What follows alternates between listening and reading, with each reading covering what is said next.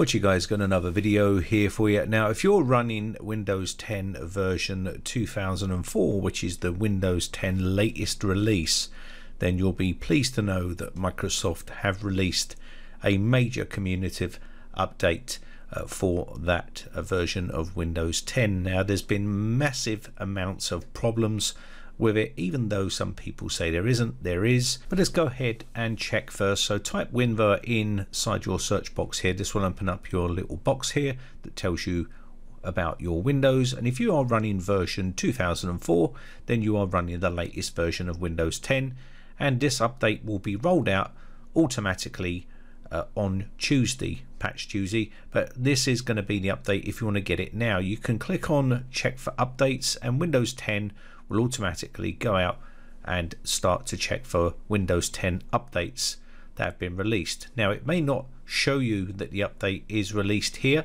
This is for July 31st 2020 and the update will be KB4568831 uh, and that is the release that you need. So when you see this page here, you'll probably see that nothing has come up, but you need to view the optional updates.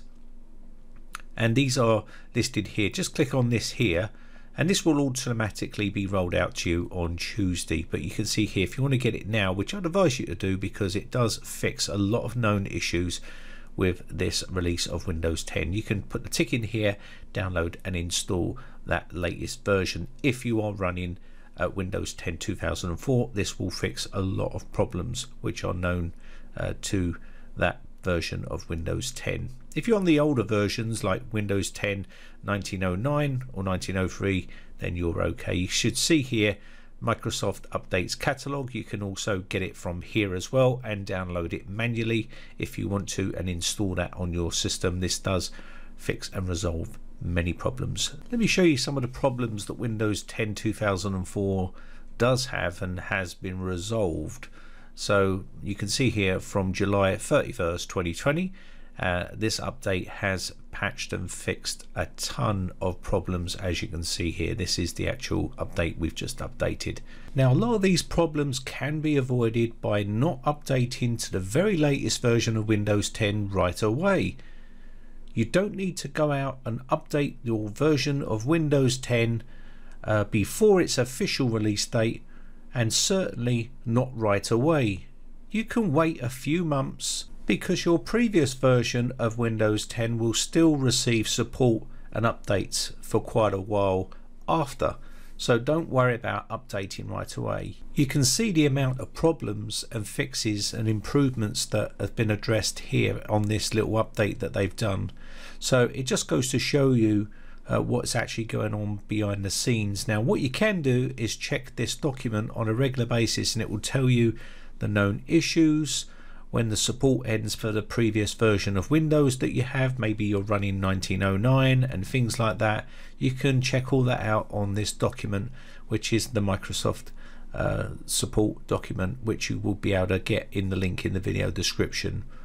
Now, unfortunately, there is still some problems that haven't been resolved, which is the uh, defragging problem where it keeps uh, defragging your drive throughout the day. And of course by doing this it's going to reduce the lifespan of your SSD now you're going to get other tech YouTubers on the internet telling you that this is not a problem and not to worry about it.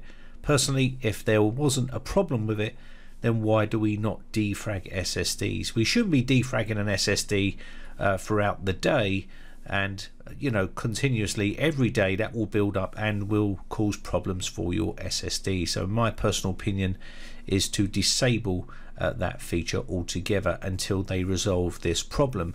Resolved issues in Windows 10 version 2004 Windows Server and version 2004 you can see here these are some of the resolved issues. I don't see it listed here as being resolved and I checked it today and I'm still having a few issues where it keeps wanting to uh, defrag my SSD. I've actually disabled it altogether and I'll quickly show you how to do that in this video. Now like I said you can avoid a lot of these errors by just delaying and holding off updating your Windows 10 to the latest version right away and especially some people on the internet will even do it early before it's even officially released and tell people to go ahead and do that and that's just stupid that really is don't do things like that and don't follow people that tell you to do things like that because it's just going to cause you problems. Now I do think it's pretty irresponsible for people to tell people to do something especially when you've got quite a big influence on the internet and uh, telling people to do things that you're not going to support yourself especially when you're just going to basically hold your hands up and say it's not my problem.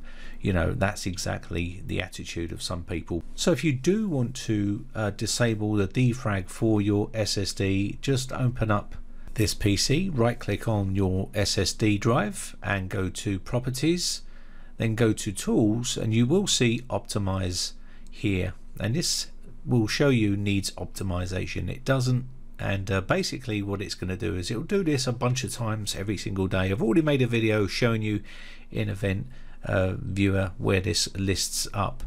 And uh, basically uh, what's going to happen here you're going to see that I've completely disabled it. If you go into this option here you'll see I've unticked the C drive so it doesn't actually do anything with the C drive. It won't try to do that on that drive. And that's the best way to deal with that problem until they release a fix. Now running the trim command on uh, an SSD is not a problem but when it starts to try to defrag the drive and continually uh, attempting to defrag an SSD throughout the day that's not a good thing. And uh, it will shorten the lifespan of your drive. And the term solid state means it is a solid state. It doesn't have any moving parts in it so it doesn't need to be defragged in that way uh, you know um, the update is now come down and I need to restart the PC and uh, that update will be in place and it will fix a lot of problems. I get a question all the time is when is the right time to update to the latest version of Windows 10 well that choice has to be your own and you will have to make that choice yourself um, when its time is right for you. Personally, I think holding off a few months, a couple of months, two or three months is not going to be a problem. You're not going to be hacked or be vulnerable to the elements or anything like that. You're still going to receive security updates and things like that. So don't worry about things like that. That's just fear mongering and scaremongering from people on the internet. Now, Windows 10 has a turbulent update track record, which means it's been a bit hit and miss for some people, and you may get the odd person that's had no problems whatsoever but they might not be doing the same sort of things you're doing on your computer and the problem is when you do have problems it can be quite disruptive to uh, your daily workflow when you're trying to do things and you're getting problems with Windows. Most people just want a stable version of Windows 10 and when they do get that they are just reluctant to update right away and I can see where they're coming from. So it's all going to be down to you yourself whether you want to run the gauntlet and update right away and hopefully you don't have any problems. But you know, with Windows 10's track record, it's had problems with every update release. Use your own initiative, check that website for uh, information on known issues and whether they've been resolved. And if they have, then maybe roll out the update in your own time. Anyway, I can talk about this topic all day long, but I've got things to do. My name has been Brian from briteccomputers.co.uk. Thanks again for watching. Bye for now. Now, if you haven't subscribed yet, hit the red subscribe button and then hit the bell notification button and click all to be notified when we upload new videos.